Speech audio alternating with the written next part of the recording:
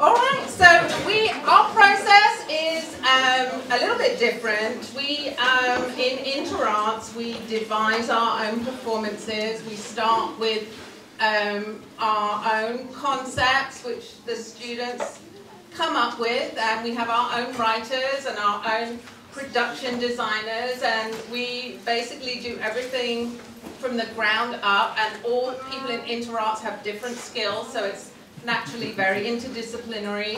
Um, so I thought this is the perfect opportunity to work with um, uh, Tamir Hendelman, who is our guest artist. Uh, he is a, a, renowned jazz pianist, but he's also creates um, interdisciplinary magic as well. And he, um, so we were able to um, be joined by some musicians and dancers, the fashion department as well, have um, joined us to create uh, a truly interdisciplinary performance.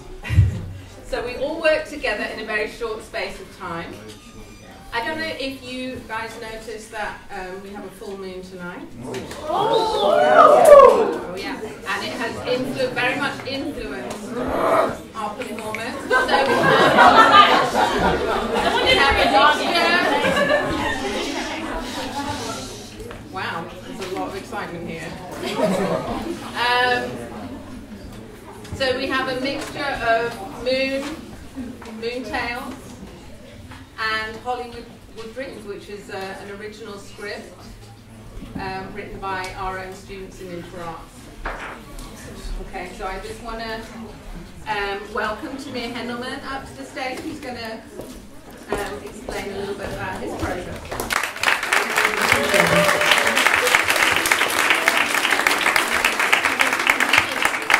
So this is our second our second collaboration. The first time was about four years ago which was uh, right around.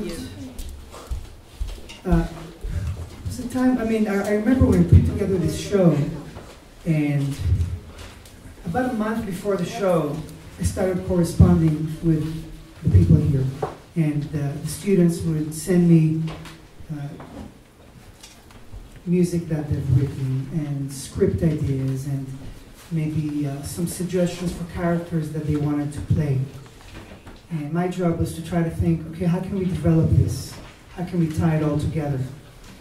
And they would come up with more things and we would gradually build. But the fun challenge was getting here 48, 48 hours before the show, knowing that we had a lot more threads to, to tie together and that everybody was going to do what they needed to do to, to make it happen. And there's something magical when you go up on this hill the creativity, the seclusion, the focus, the collaboration, the listening to each other that really made that other show happen and is really going to make this show happen. And I want to really commend all the students that, you know, some, some of these students were not even in the show until about a day ago when I would drive and see some musician walk by with their instrument and say, hey, would you like to join this show and it involves some improvisation. And they say, well, where's the score? And I said, don't worry about that. We'll, we'll figure that out. so thank you, everybody, for taking a chance on this process. I want you all to close your eyes for a second.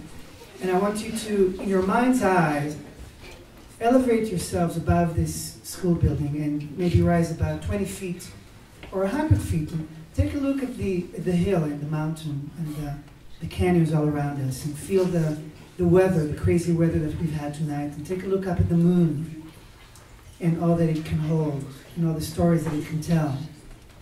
And with that, I'd like to introduce to us August, who will be our narrator for the first portion of tonight's Moon Tales.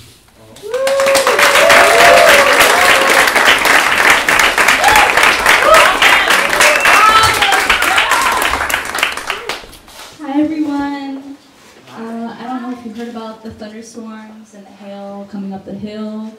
So I'm glad that you guys were lucky enough to make it. And so tonight on this full moon, we're going to do something a little bit different. And this night will be consisting of moon tales.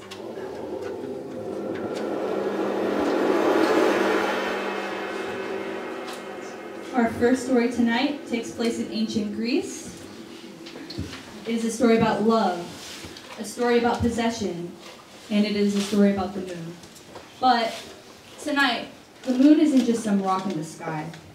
Tonight, for this moment, the moon is a goddess who's about to fall madly in love.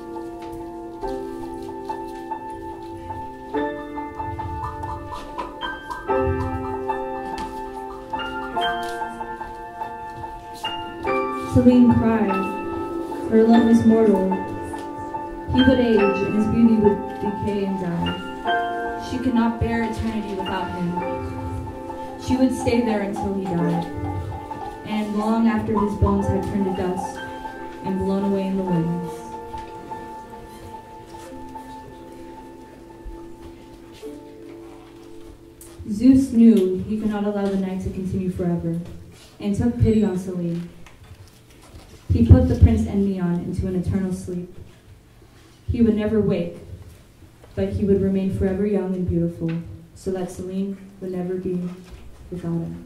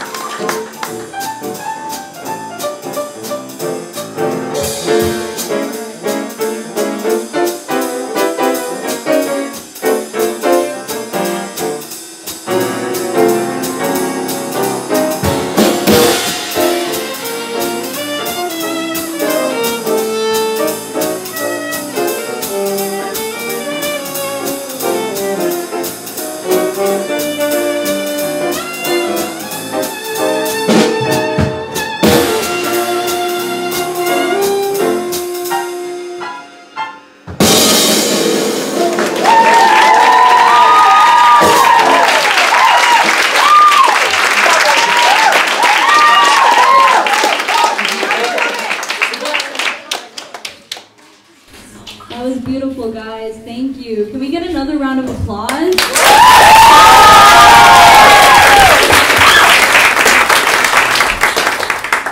Now for our next tale, we will be traveling to Algeria, and I will tell you the tale of Tears of the Moon. Long, long ago, there was a boy who sulked, but could not cry.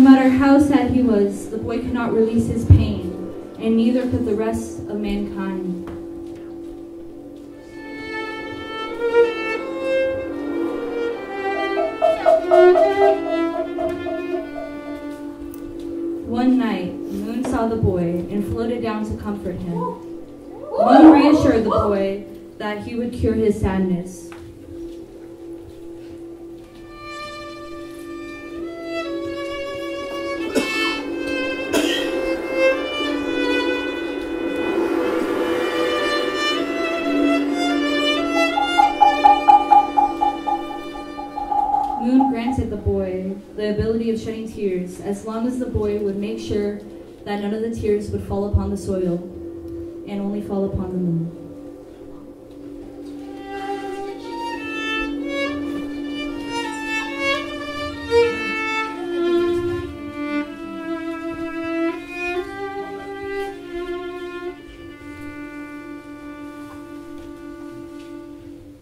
Over time, the boy's sorrow would fade, and Moon graciously kept his promise, and so did the boy.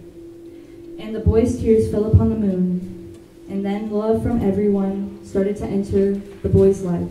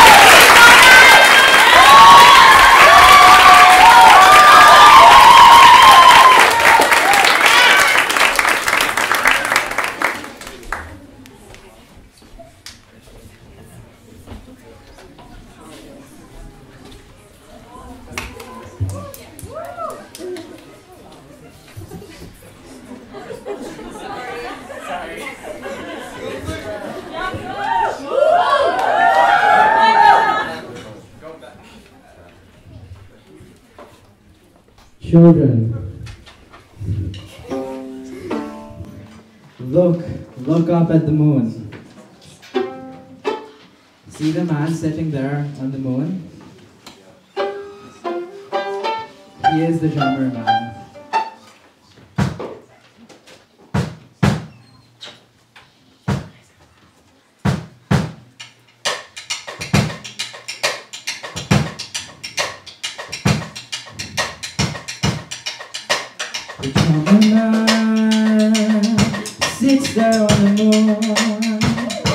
好好好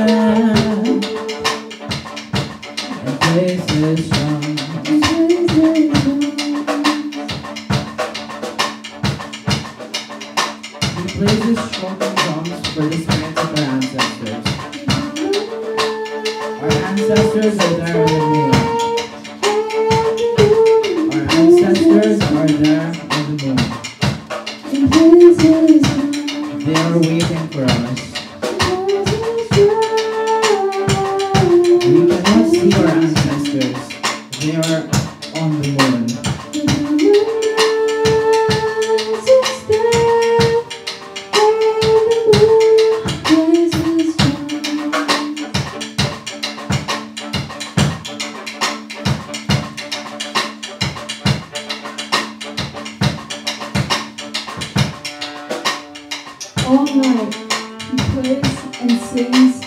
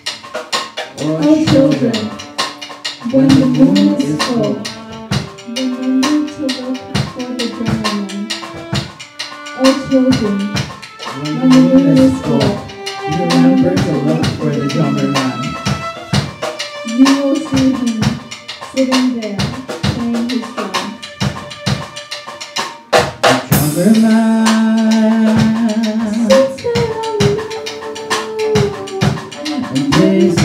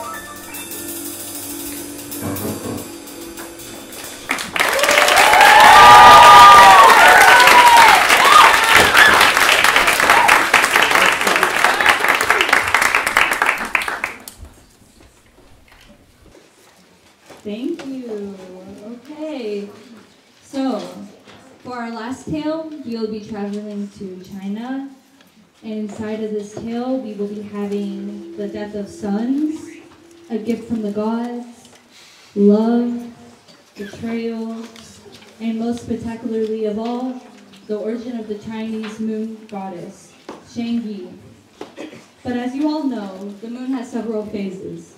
So that kind of gives you an idea of how our main character, Shangyi, will be. When the earth was oh so young, there were ten suns in the sky. It was extremely hot all the time, and it was very difficult to have any crops being made, and lots of populations were endangered. But one day, a skilled archer named Yu Yi decided that enough was enough. He raised his bow to the heavens and shot down nine of the ten suns.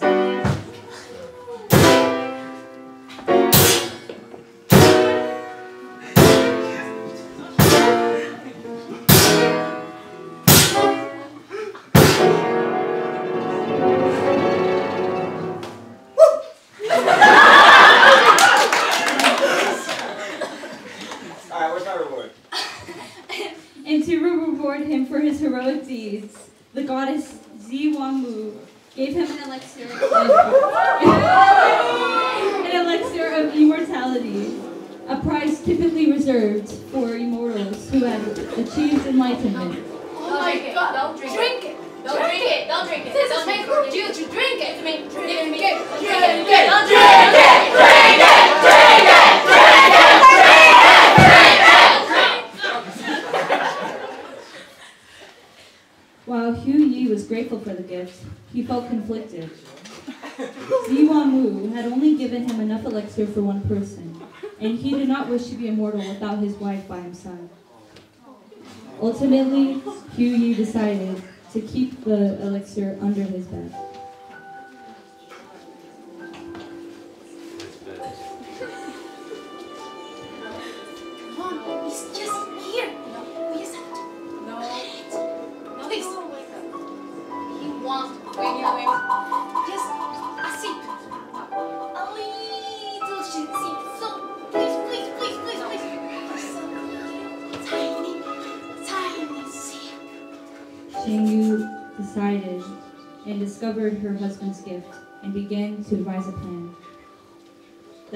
She found the elixir underneath his bed.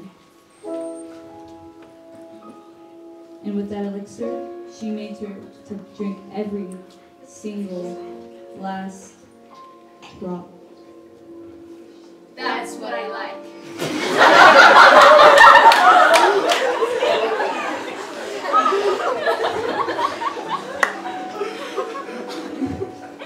Yu Yi woke up to find that his wife was not laying in bed with him.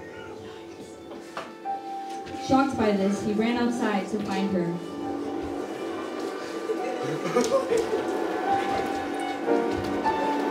He found her drifting inside the night sky. But Yu Yi was so, so angry that he grabbed his bow and aimed it at her and tried to shoot Shang Yi down but he missed every single shot. Time went by, Hou Yi and his anger subsided.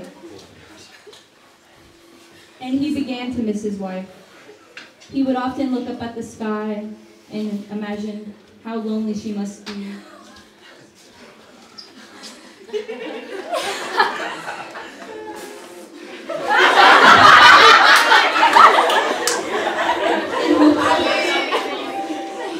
In hopes to make her feel less alone, he would leave treats for her every night.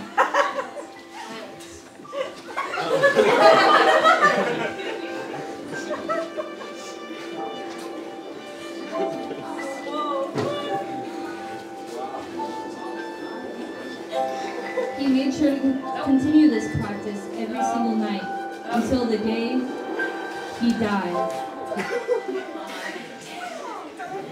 This tradition continues today, and many people leave annual offerings of treats and fruit for Chang'e during the mid-autumn festival. Oh!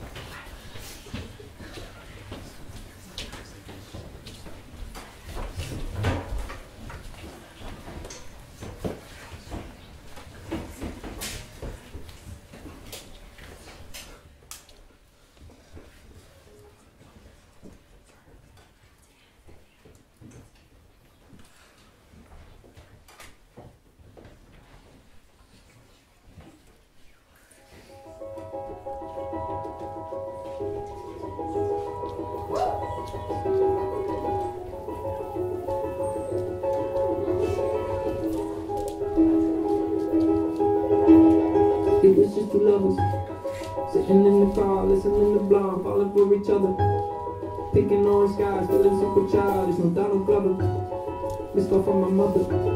Like where you at tonight? Feeling all about. I was all alone with love.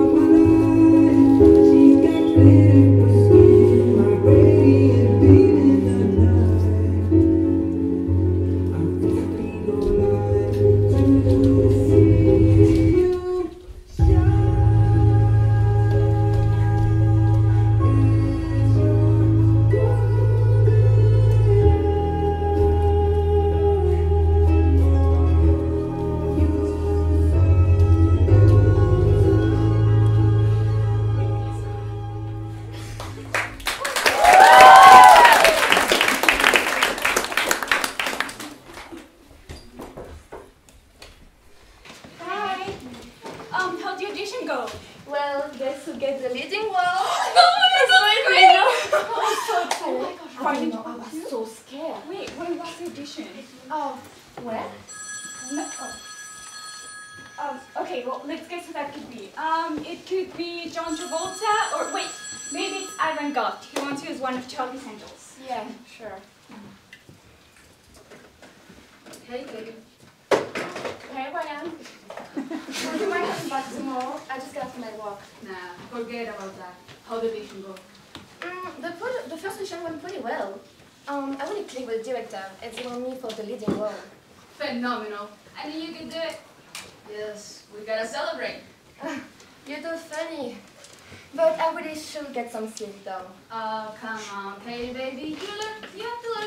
that sometimes. You know that? I'll be over in pain. No argument. Oh, I'm fine. Sounds like a plan. I just need to take some stuff to the I'm fine. Good.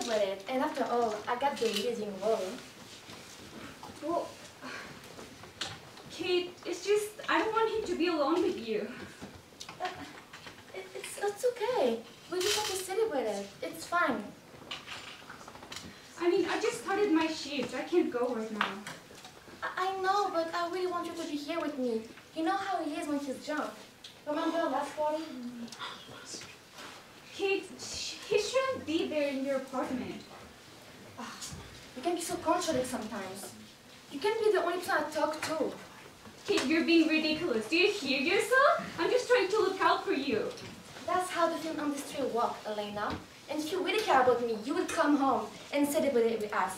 I feel like Brian is the only person who really care about me. What do you mean that's how the film industry works? Of course I care about you. That's why I'm worried. I just want you to be here with me. If you don't want, it's fine. I don't even know why I called you.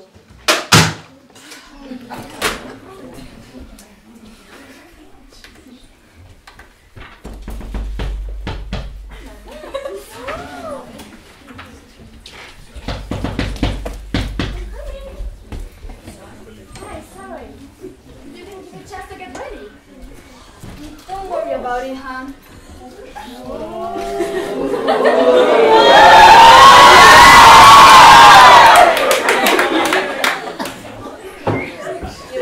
You, us seven.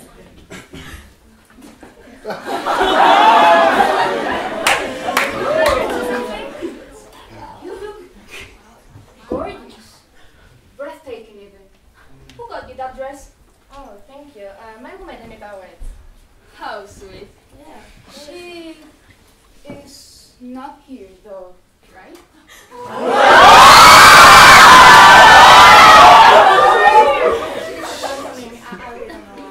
That's a bummer. Well, I'm sure we'll have fun fun without her. Anyways, Yeah. you're not worried, are you? Come sit down. Good girl. You know, I can't express enough how proud I am of you for getting this far. And even if others might not be. Everyone's jealous at the end of the day. Let's have a drink, shall we? I just want to be close to you. Understand that? You know how special we are to me. I'm sitting a little comfortable right now. Uncomfortable. What is your problem?